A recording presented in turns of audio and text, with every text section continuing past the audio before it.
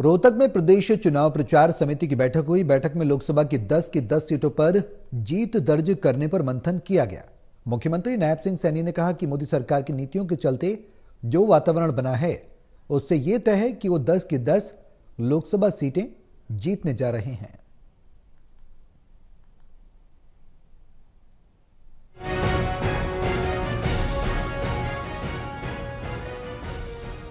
रोहतक में प्रदेश चुनाव प्रचार समिति की बैठक हुई। मुख्यमंत्री नैब सिंह सैनी ने बैठक में शिरकत की। नैब सैनी ने कहा कि प्रदेश चुनाव प्रचार समिति की बैठक में ये मंथन किया गया है कि किस तरह से लोकसभा की 10 की 10 सीटों पर जीत दर्ज की जाए।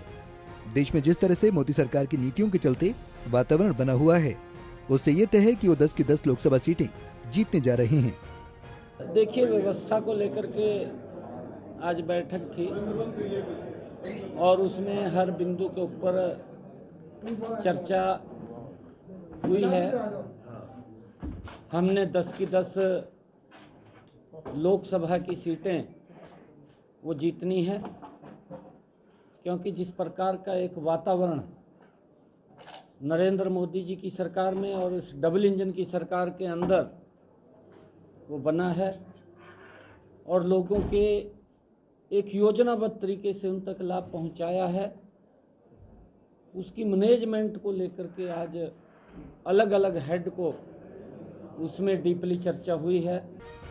मुख्यमंत्री नायब सैनी ने भूपेंद्र हुड्डा और दीपेंद्र हुड्डा पर जमकर कटाक्ष किए। उन्होंने कहा, ये तो पिछले चुनाव में भी कहते थे कि रोहतक लोकसभा की सीट जीतकर हरियाणा में कांग्रेस की सत्ता बनेगी, लेकिन आखिरी फैसला जनता के हाथ में होता है। उन्होंने कहा कि कांग्रेस की सरकार के दौरान जिस तरह से भ्रष्टाचार हुआ, उसे जनता भली भांति जान चुकी है। और जनता को ये भी पता है कि अगर कांग्रेस की सरकार बन गई तो भ्रष्टाचार को बढ़ावा मिलेगा। कांग्रेस का जो भ्रष्टाचार है, कांग्रेस का जो कार्यकाल रहा है, अगर मैं एक छोटी बात करूँ, क्योंकि लोग भूलते नहीं हैं बातों को, कांग्रेस के समय के अंदर एक गैस का सिलेंडर लेने के लिए तीन दिन लाइन में लगना पड़ता था। नहीं भूले हैं लोग, आज भी जानते हैं। परंतु उसके अंदर जो सुविधा दी है, वो नरेंद्र मोदी जी ने दी।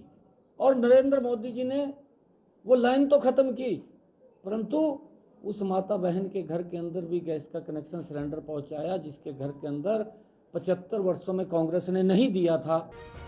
बहरहाल प्रदेश चुनाव प्रचार समिति की बैठक में लोकसभा की 10 की 10 सीटों पर जीत दर्ज करने पर मंथन किया गया। साथ ही मुख्यमंत्री नायब सिंह सैनी ने कहा कि उनका लक्ष्य मोदी सरकार और मनोहर सरकार के दौरान जो काम किए गए, उनको आगे बढ़ाना है। रोहतक से टोटल न्यूज़ के लिए देवेंद्र शर्मा की रिपोर्ट